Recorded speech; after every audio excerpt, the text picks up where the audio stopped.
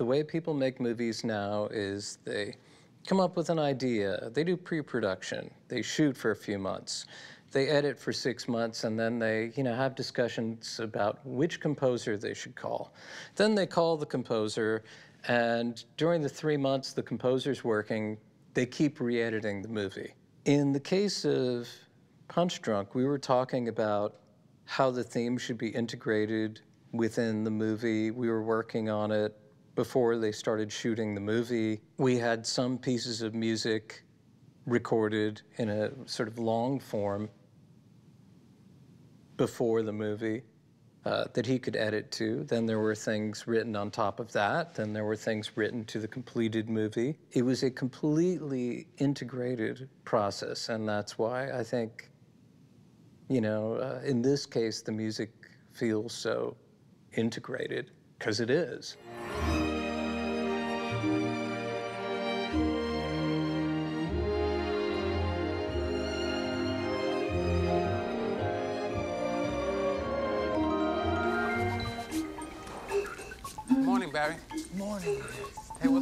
Pudding? What is this? Oh, that's part of a pretty amazing airline promotional giveaway. That's really tremendous. I'm gonna start. Punch Drunk Love, I think there were a lot of ideas going on musically on both our parts. We knew we wanted a melody of a certain amount of notes, and we knew what that represented to us. We looked for that over time. I wanted something that could sound fairly random the first few times you heard it, but once chords were added, it would actually be melodious. We talked about harmoniums. I think the first time it came up, I probably lit up like a Christmas tree, like going, why are you asking me about harmoniums? One of the ones in the movie is one I found in a music shop in Boston many years before.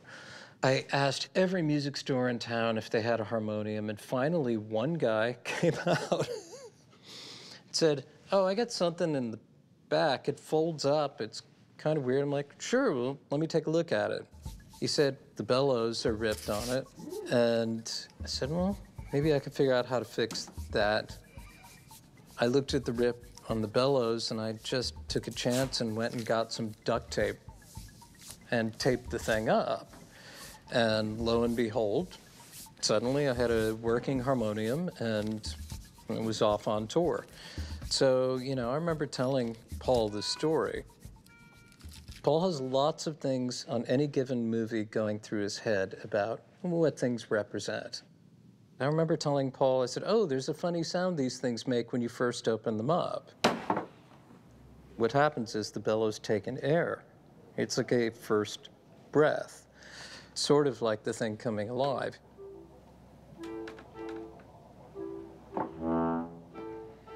It's an example of Paul being able to see a living analogy, make use of a living analogy. I'd go visit the set, see Adam play it, find out what was a natural melody for him to play. Then that influenced how I was writing. So he had heard something with harmonium on it, I think, when he was writing. Here's another thing that I think is very classically Paul to me. He will investigate everything. Anything that inspires him, he will investigate, he will learn about. He will use it in the process. The hilarity is, you know, I walk into this thing going, oh my God, I'm gonna get to do a film score with harmonium. I mean, it's been one of my favorite instruments since I was a kid. I got introduced to it as a kid and loved it. Just loved it. There's no harmonium in the score. Adam plays it. That was the sound the object he'd occasionally walk over to would make. But the soundtrack was also made so that whenever Adam was playing those notes, it would have an integration with the world of the soundtrack. So here we go. Right around the time he was starting shooting, he asked me, could you make some pieces for me that are just rhythm? And I said, Yeah, of course.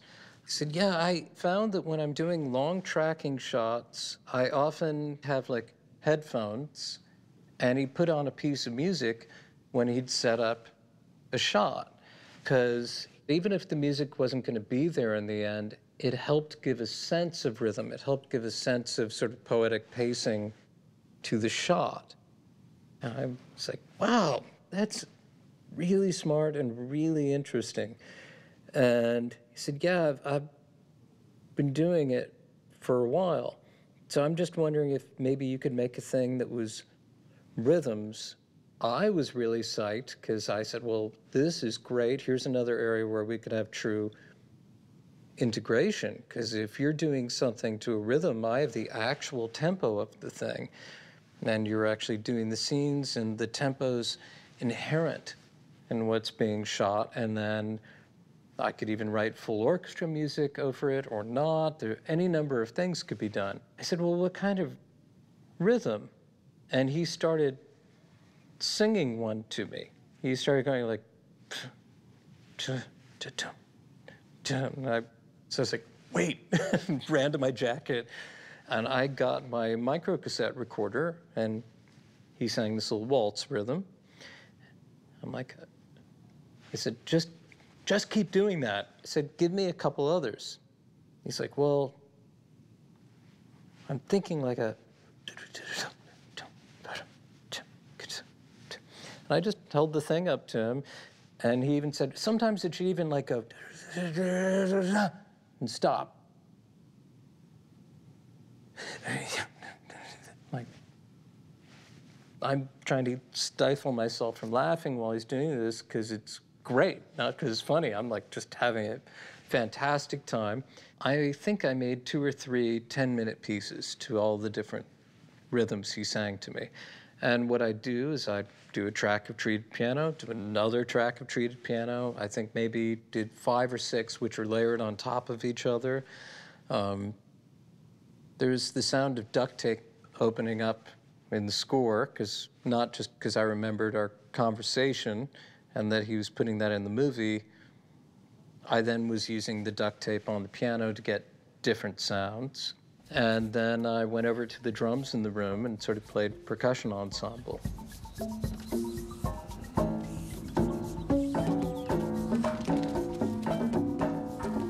Another beautiful oddity in this movie is how mundane the warehouse is, and yet, you know, Paul's sense of setup and color is imbuing this thing with something else. To me, it's one of the hallmarks of this movie. You're combining this mundane thing with this sort of technicolor aspect. He was working on one of the scenes, I think, with Adam by himself. And he said they had been working on it for a while and not getting it right. At some point, he invited Adam over to watch a playback, and he told me he put the headphones on, said, No, no, no, this is what's going to be playing. And showed him how it actually looked, how the colors came off, the sound of those percussion ensemble pieces. And he said, It was great. He said, because Adam suddenly said, Oh, I could actually do less. This, this is bullcrap to me. I'm sure no, I can't no, expect you no, to take no, that much no, time to process. Hello? Hello? Hello? Paul had been watching old MGM musicals. He was studying saturation color of a certain era of movies. And we were talking about some of the feeling we wanted to evoke, which was a feeling of that era, a certain sort of 50s thing. And we were out on the street in front of the pre production office one day talking. And I suddenly got struck, and I was like, I think what you actually want is the thing to feel like a musical, but nobody ever breaks into song. And he went, Exactly. And I was sort of jumping up and down, going, I, I can get behind that. So I'll just see you at the restaurant? Okay.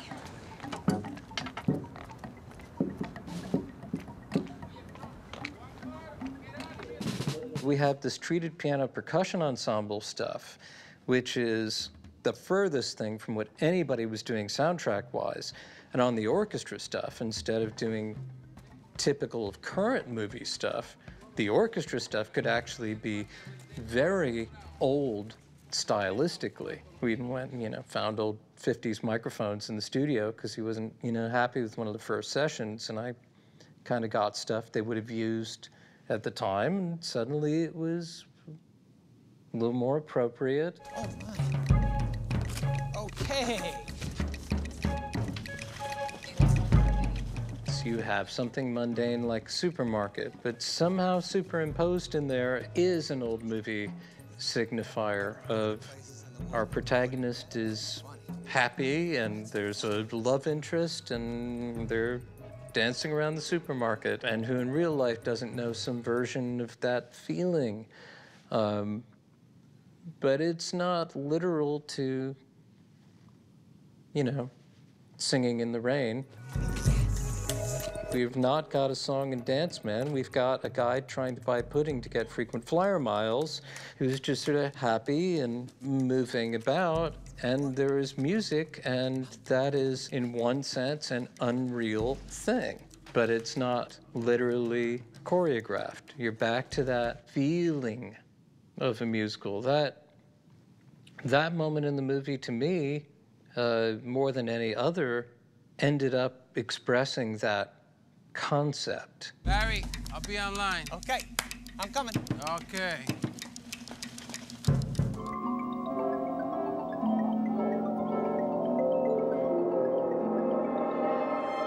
Paul told me about Jeremy Blake before the movie. He had gone to an exhibition and seen it and was knocked out. He immediately was interested in integrating it he already had some notions about color and was doing experiments on all sorts of things.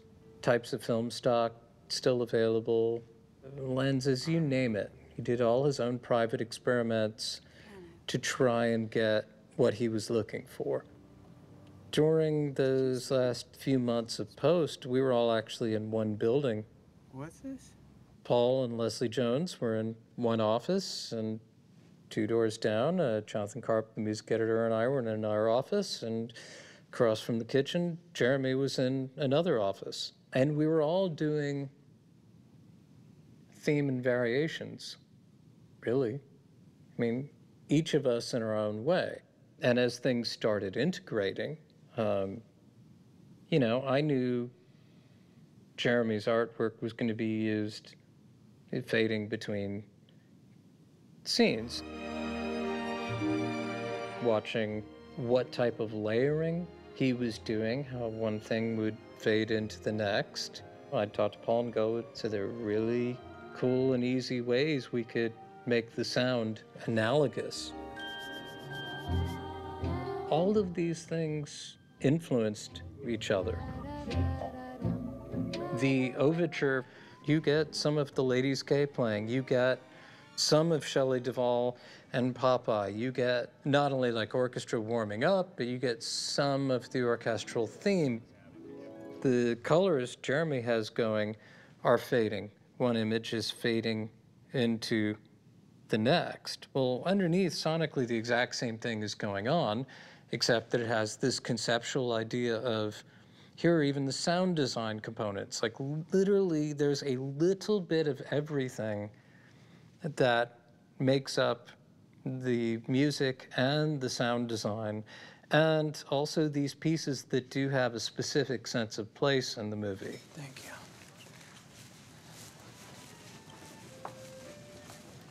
We knew we wanted to have this five note theme represented in various ways.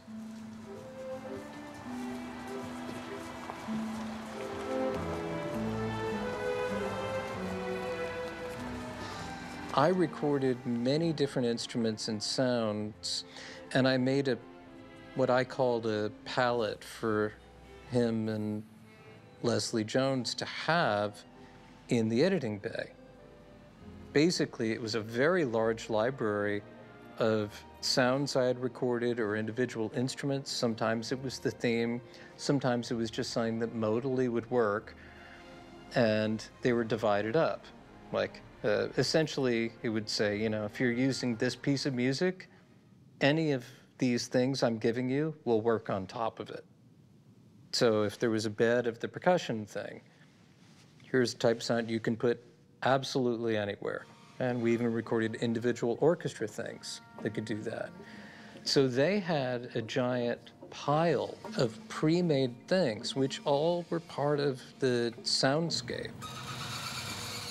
We wanted to blur the line between soundtrack and sound design.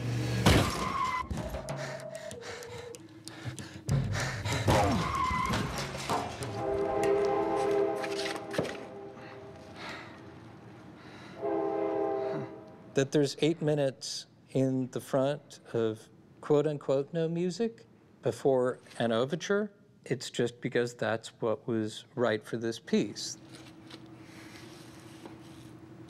But the front isn't free of soundtrack because from the very first moments, there's stuff I recorded and gave to Paul that were more like sound effects. And the way he sets up the seeming silence before that, how quietly everything's mixed. And the accidental sounds are just strange, and there's a lot of space between them. So when that truck comes by, you know, it does alarm you.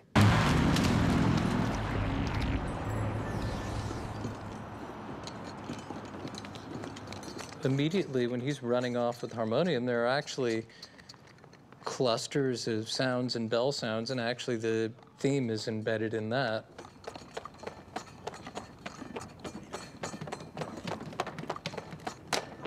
He had the two favorite pieces he had used during shooting, and he had started, I believe, editing, and he came to me, he said, those worked great. They're gonna cover a lot of territory, but I need one more that's percussive.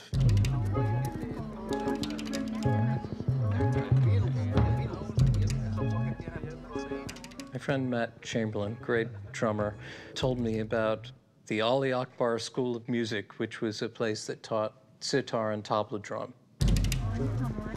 They had these little boxes for sitar players to practice to. And one made tabla drum rhythms, like a rhythm drum, and another was a tambura drone, which basically is a uh, forever, so you can play over top. Stop by to say hello. Terrific. What's doing? So you're going tonight, right? Yes. I showed Paul some of the different rhythms, and we picked one together and sort of set the tempo. And we just kind of messed with it until the basic. So, what's wrong with looking at you? It's a free country. I just feel like I would be a little tense, and I don't think I'd act like myself. Well, that's kind of your fault. A song written for a movie, most directors would go, Well, it's already in a movie, I can't use it. He needs me, he needs me. The use of He Needs Me, which is originally from the Popeye movie, is an example of what Paul's gift is. Hello. Hello?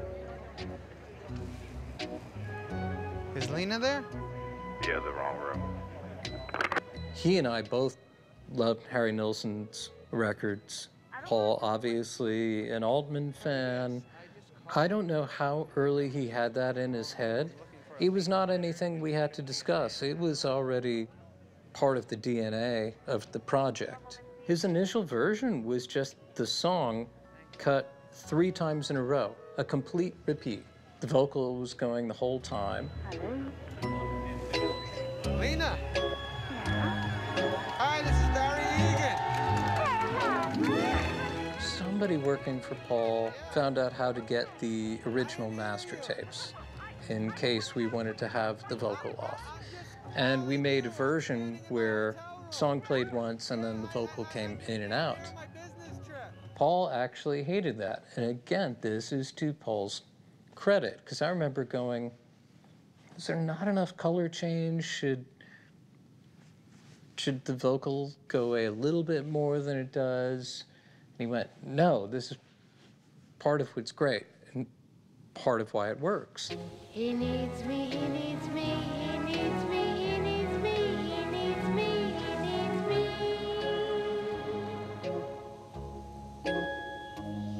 But I had done some experiments where we had the uh, original master tapes. We basically, on one of our orchestra sessions, did a takedown of exactly how Shelley Duvall phrased the melody, and we had it played on different instruments. So, like the palette I made for him on my stuff, I made a palette where if the vocal went away, we could have full orchestra playing on top of the original recording or an individual instrument soloing. This maybe ended up in the end credits, a version where it's going through all these different variations that we didn't really use that much in the center of the movie.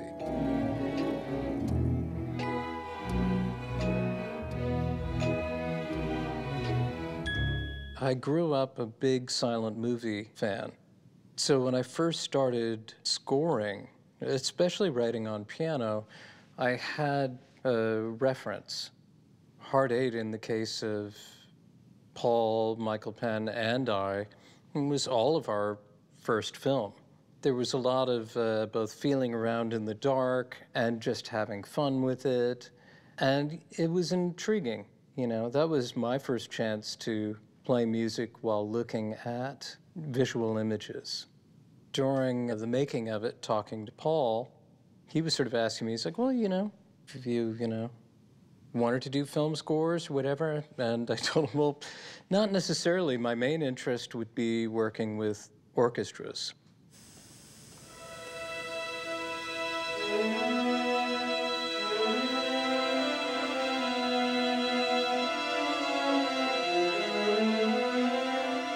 The first time you write for orchestra, it is daunting.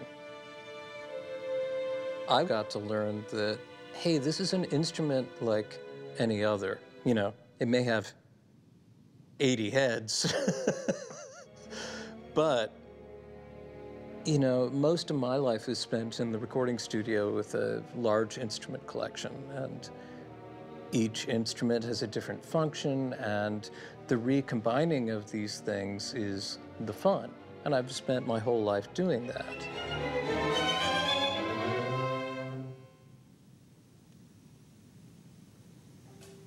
At some point, when you just see it as a giant color machine musically, you're in a better position to do a good job.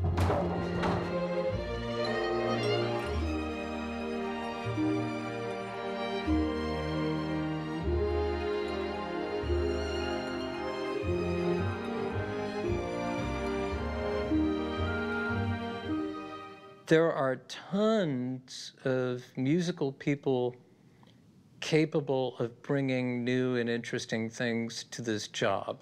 Paul and I are both gigantic John Williams fans. I mean, I actually think that guy's underrated. Danny Elfman's great. He does, you know, fantastic work. Uh, Jonny Greenwood does fantastic work. There are lots of people doing good things, but it comes down to the director's follow through. If you hear a movie and the music seems typical, often it's not the composer. Something's probably been flattened, like most movies we're seeing. Paul has an incredible sense of music. He is incredible at placing stuff. He is incredible at understanding how the music will subconsciously affect people. And always, always, there's this space given for the music to have an impact. No, no, please. Ow, ow, ouch, ouch! You wanna fuck with what my brothers are saying? You wanna fuck with my family? He doesn't make the scaredy cat half measures that everyone else in town makes, uh, which I think is a tragic mistake on their own part. Most people who make films are mixing movies with too many people in the room. uh, who are all going, "Ooh, did did it did that line of dialogue get heard?" And you know, music gets turned down uh, unnecessarily. Paul wouldn't do that. They're so worried about people being distracted or losing attention that they make things that are fairly flat. Paul's movies stand out because of his follow through. The fuck are you going? We know where you live.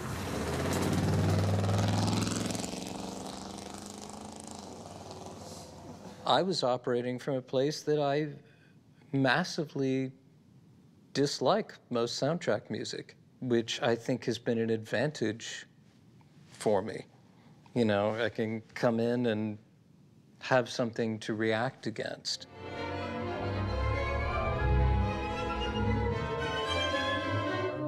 Every couple of weeks when he's editing, he says, you know, we should watch the whole movie beginning to end. Doesn't matter how many times you've already seen it. Everybody gets very, very myopic, and it keeps him in the mind that people used to have to be in with films, which is, hey, what's important to the story? Guy who'd worked on tons of films was in visiting, and Paul played a big chunk. That guy stopped for a second and said, yeah, but you know, is there a problem here with the narrative? Almost seems like some of this doesn't add up or something. And I kid you not, because I sat next to him and without the slightest bit of guile, he turned around and said, I know, isn't it great? If anyone else in town starts fucking doing that, maybe we'll have some movies to watch.